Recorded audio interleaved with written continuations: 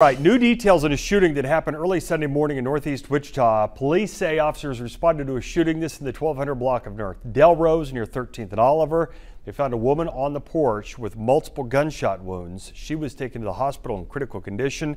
A man was also found shot and taken to the hospital. WPD says there's no immediate threat to the public. Kansas primary election